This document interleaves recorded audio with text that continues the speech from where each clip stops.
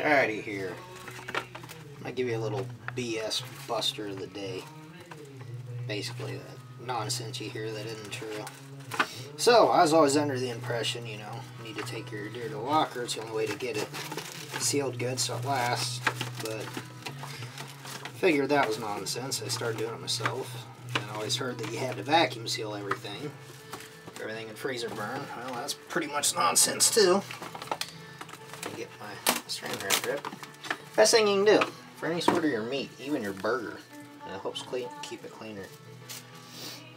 Got your burger ground up. Toss it in saran wrap first. Pound, two pounds, whatever you want. I like to put mine in quart size bags. So, yeah, that'll do there, pound and a half or whatever. All you're gonna do is just cover this up, try to squeeze the air out as you can.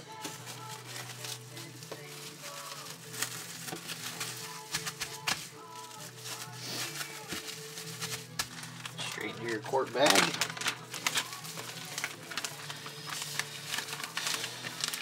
And yeah, this is gonna last you well over a year. And this is just regular freezer bags, nothing special. Not sandwich bags, freezer bags. A little bit thicker. But yeah, just get a good seal on it. And what you do with this saran wrap, take most of your out of it, and this will last for, yeah, well over a year, up to two years. Save some money. Don't take it to the shop. Don't need a vacuum sealer either. Don't forget to label it.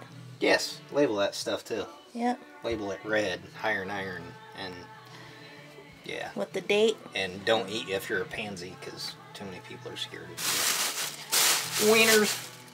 And this deer was caught yesterday. Killed. Killed. Yesterday. Locked.